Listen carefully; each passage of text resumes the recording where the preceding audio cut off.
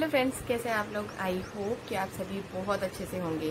दोस्तों, आज मैं आप लोगों से बातें करने वाली हूँ शिवी के बारे में। तो दोस्तों, अगर आप मेरे चैनल पर नए हैं, मेरी वीडियो फ़र्स्ट टाइम देख रहे हैं तो please it's a request please मेरे चैनल को सब्सक्राइब करना बिल्कुल भी न भूलेगा सब्सक्राइब कर लीजिएगा, क्योंकि हम बातें करते हैं पांडा स्टोर के बारे में और स्पेशली शिवी फैंस के लिए।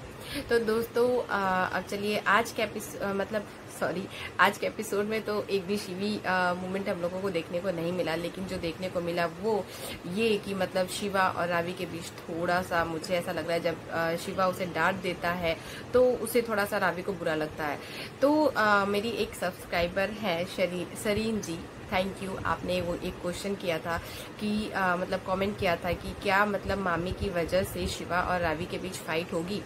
मतलब आ, नहीं होगी ना? ऐसा करके उन्होंने कमेंट किया था। थैंक यू फॉर कमेंट मतलब आ, मुझे कमेंट करने के लिए और मुझे एक टॉपिक देने के लिए ताकि हम उसके बारे में बात करें क्योंकि ये सबके दिमाग में ऑलमोस्ट होगा मुझे ऐसा लगा। कि सबके कमेंट्स मतलब आते हैं बट मुझे ऐसा लगता है कि जिसका, जिसके बारे में हमें ज़्यादा मतलब काफ़ी ज़्यादा लोग सोच रहे होंगे तो उसके बारे में हम बातें करते हैं।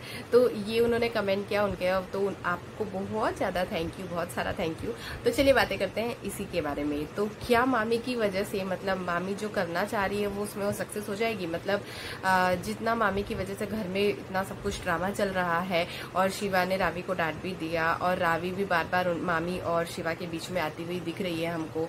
बार बार इन दोनों की नोकझोंक हो रही है मामी और शिवा की और रावी उसके बीच में आ रही है। तो क्या ये पॉसिबल है कि मतलब जो आ, आ, मतलब अच्छा एक शुरू हुआ है ट्रैक मतलब शिवा को रावी से प्यार होने का जो ट्रैक शुरू हुआ है और रावी भी कहीं ना कहीं शिवा को थोड़ा बहुत पसंद करने लगी है तो क्या मतलब इस पे लग जाएगा ब्रेक या फिर उन दोनों की फाइट हो जाएगी? बट फ्रेंड्स मुझे ऐसा नहीं लगता कि हाँ मतलब होगी थोड़ी बहुत तो होगी ही ऑब्वियसली नहीं होगी तो काम कैसे चलेगा? तो थोड़ा बहुत होगा। मतलब रावी शिवा शिवा को डांटेगी या फिर उससे लड़ेगी थोड़ा बहुत। मतलब फाइट होगी बट फाइट इतनी बड़ी नहीं होगी कि मतलब जैसे बहुत ज़्यादा बड़ी हो गई कि दोनों एक दूसरे से बहुत टाइम तक ना वो बात वैसे भी नहीं करते हैं। लेकिन वो नॉर्मल वाली लड़ाई होगी नॉर्मल वाली नोकझोंक होगी जो कि बहुत ही जल्दी शिवा की, क्योंकि अब शिवा के दिल में उसके लिए थोड़ी बहुत मतलब शुरू हो गई है फीलिंग तो वो क्लियर करता हुआ नज़र आएगा बाद में।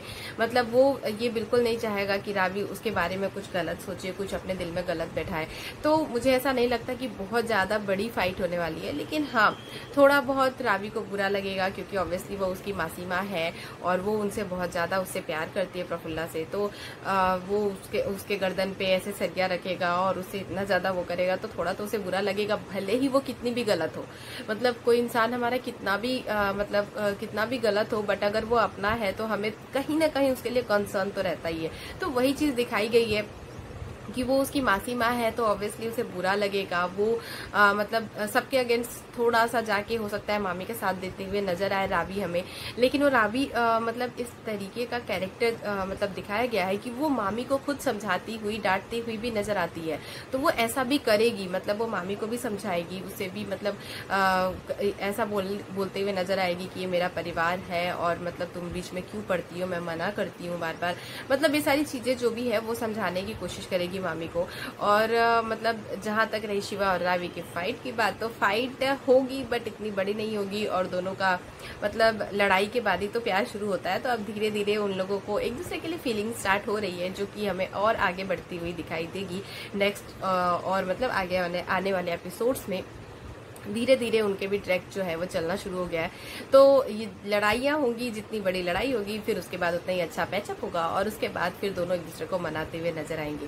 तो मतलब आप लोग बिल्कुल ये मत सोचिए कि ऐसा कुछ होने वाला है कि बहुत ज़्यादा बड़ी लड़ाई ना, लड़ाई होगी बट उसके बाद फिर हम लोगों को अच्छे अच्छे मूवमेंट्स भी देखने को मिलेंगे।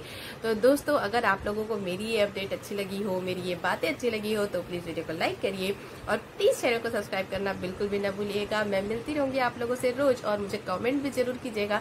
मुझे आ, मतलब जो ऐसा लगेगा कि बहुत सारे लोगों को ये सारी चीज़ें जाननी है तो उसके बारे में हम बात करेंगे। तो चलिए मिलते हूँ नेक्स्ट वीडियो में अपने किसी नेक्स्ट अपडेट के साथ।